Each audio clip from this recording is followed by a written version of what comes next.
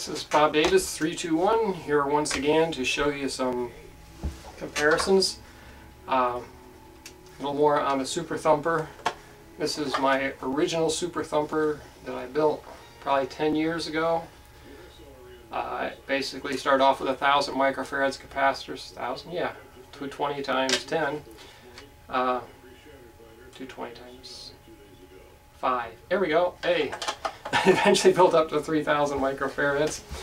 Uh, and then this is a current model, has a power transformer in it, uh, 390 microfarads X8, and a voltage multiplier, and still 100 amp SCR.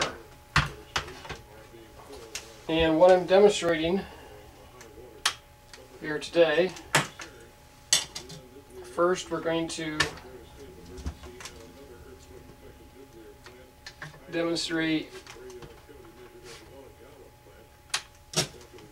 a coil of 100 feet of wire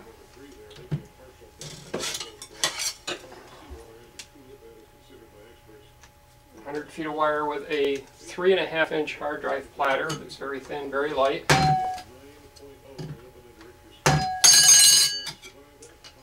And with a five and a quarter inch hard drive platter That time it even hard to lift. You gotta give it five seconds to charge back up. About one foot of lift.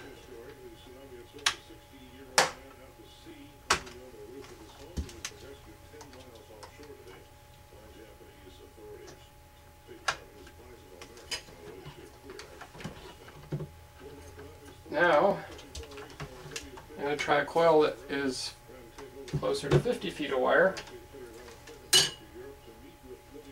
And do comparison. This is a three and a half inch platter with a coil of 50 feet of wire. Don't know if you saw that, but it's about 50% more lift. And now the big one,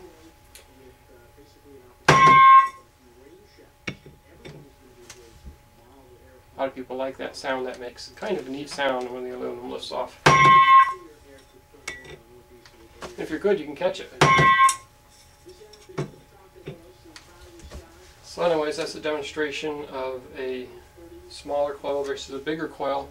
Someplace around here I have another coil that's even, uh, it only has about 30 feet of wire. And eventually I kept making the coil smaller and then went with a what's called a flat coil.